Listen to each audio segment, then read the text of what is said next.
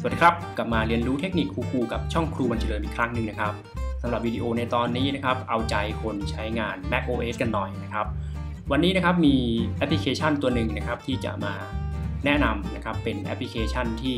ช่วยให้เรานะครับจัดการหน้าจอนะครับแบ่งหน้าจอได้เหมือนกับ Windows นะครับและที่สำคัญนะครับเป็นแอปพลิเคชันที่ให้ใช้งานฟรีนะครับ จะฟรีนะครับและก็ดีขนาดไหนเดี๋ยวเราไปติดตามชมพร้อมกันเลยครับ ส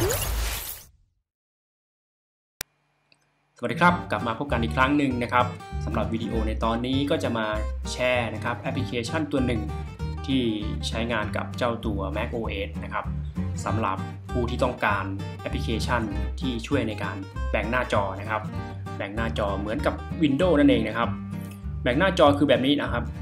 เราลองปึ๊บเห็นไหมครับ เราเลื่อนแอปพลิเคชันมาติดที่ขอบจอ ครับก็จะช่วยให้เราแบ่งเห็นไหมครับนี่แบบนี้ดับเบิลคลิกเต็มจอนะครับ เลื่อนลงมาติดด้านล่าง ก็จะทำการแบ่งให้แบบนี้นะครับ ตัวนี้เหมือนกันก็เลื่อนมาแบ่งแบบนี้นะครับ หรือจะใช้นะครับ หรือจะใช้เป็นคีย์ลัดนะครับเหล่านี้เห็นไหมครับคีย์ลัดเหล่านี้นะครับโอเคนะครับ ตัวโปรแกรมที่ว่านี่คืออะไรนะครับ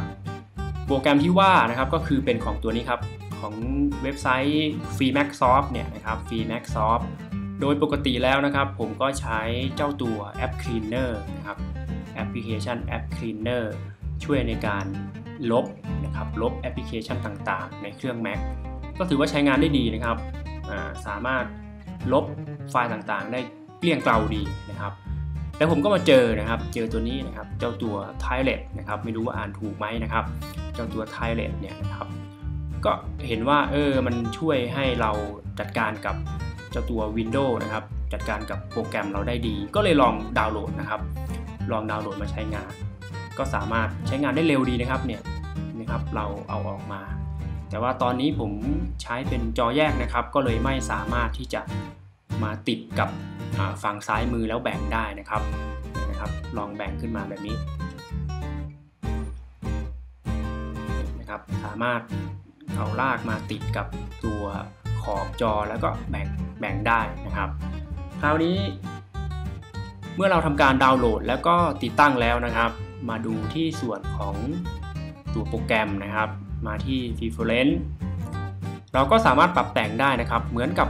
โปรแกรมที่เสียเงินซื้อเลยนะครับ ก่อนหน้านี้ผมเคยใช้ของค่ายหนึ่งนะครับ เสียเงินซื้อประมาณ 70 บาทนี่แหละนะครับ ก็ทำได้เหมือนกันเลยนะครับ ก็พอดีมาเจอตัวนี้นะครับ ก็เลยลองดาวน์โหลดมาใช้งานดูก็ถือว่าใช้งานดีครับ ในส่วนของการตั้งค่า Hotkey นะครับ ก็มีให้เราเลือกนะครับ ไม่ว่าเราจะเลือกเองนะครับ หรือว่าใช้งานตามที่โปรแกรมมีให้นะครับ เดี๋ยวผมจะลองยกตัวอย่างนะครับ ลองใช้แบบตัวนี้นะครับ กดปุ่ม Option Command นะครับ แล้วก็ลูกศรขึ้นลงลองดูนะครับ ก็ Option นะครับ Option Command แล้วก็ลูกศรเห็นไหมครับ ก็ถือว่าใช้งานได้ดีเลยนะครับเนี่ยนะครับ Option Command ต่างๆนะครับ โอเคนะครับ สรุปว่าแอปพลิเคชันนี้นะครับ ก็เป็นแอปพลิเคชันที่ดีตัวหนึ่งนะครับ แล้วก็ฟรีด้วย ช่วยให้เราใช้งานเจ้าตัว Mac OS นะครับได้สะดวกมากยิ่งขึ้นนะครับ ในกรณีที่เราเปิดหลายเปิดหลายแอปพลิเคชันพร้อมๆกันนะครับก็หวังว่าวิดีโอนี้นะครับจะเป็นประโยชน์กับทุกท่านนะครับ ที่กำลังมองหาตัวโปรแกรมนะครับที่ช่วยในการแบ่งหน้าจอนะครับใน Mac OS นะครับก็ลองดาวน์โหลดตัวนี้ไปใช้งานกันดูนะครับ ขอบคุณที่ติดตามรับชมนะครับ ก็ฝากกดติดตามนะครับ กดไลค์แล้วก็กดแชร์ให้เพื่อนๆด้วยนะครับ ไว้เจอกันวิดีโอถัดไปนะครับ ขอบคุณมากครับ